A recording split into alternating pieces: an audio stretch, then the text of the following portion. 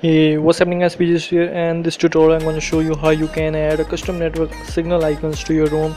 This will work on LP and MM based ROMs.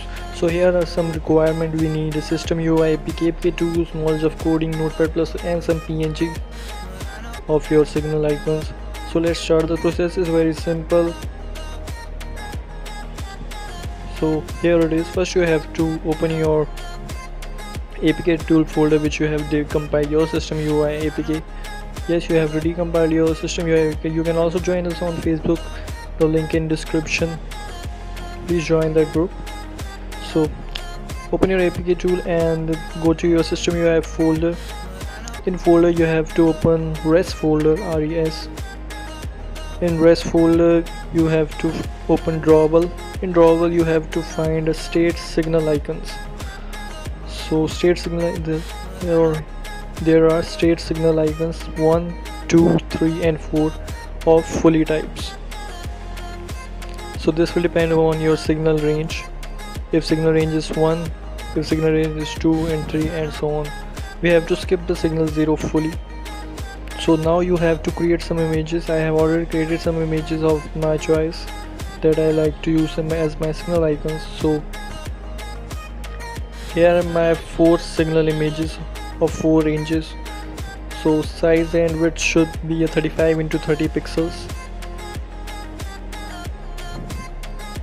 So now the tricky part is you have to add this images to your drawable folder with same name. So to do that we have to open again our system state fully folder so here are my signal icons. We have to copy the name and paste to our new images. So to do that I'm going to use two windows here. First for my PNGs and second for my XMLs so you have to go to your again find your pics. And now we have to again so please press the subscribe button so here's some state signal. Fully you have to copy the name and you have to choose whether you want your signal 1 so this is my signal 1 so I'm going to paste the name here. Now I have to copy the signal 2 make sure you have copied the state signal fully items. We have to skip the state signal 0 now we have to rename all with our suitable ranges.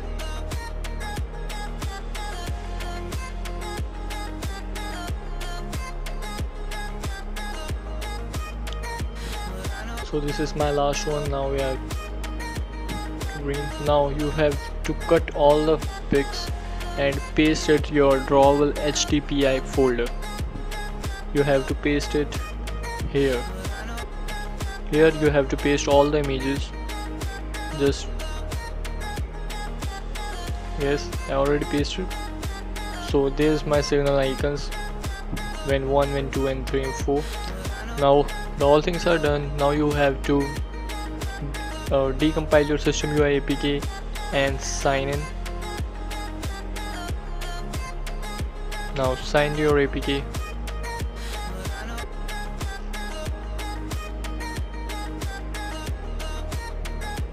by using the commands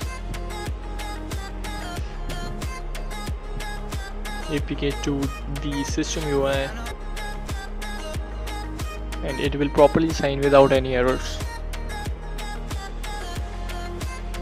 So this is a simple process. You have to just sign your APK now. After building APK file copy that and sign. After signing push to your ROM and replace with your current system UI so here's all things are done. You can also see the result